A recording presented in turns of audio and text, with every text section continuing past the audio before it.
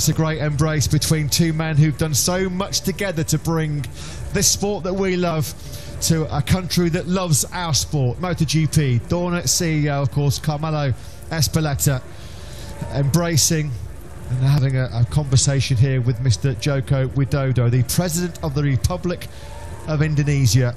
These two men, of course, have worked tirelessly behind the scenes for weeks, months, and years to bring MotoGP back to Indonesia. There were two Indonesian Grand Prix at the Sentul Circuit near Jakarta back in 1996 and 1997.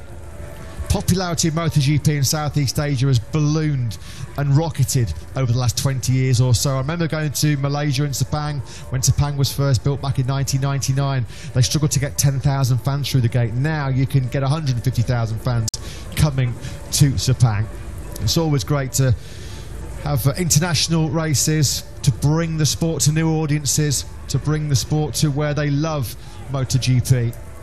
Of course, we race in Thailand, we race in Malaysia, we race in Japan, in this part of the world, and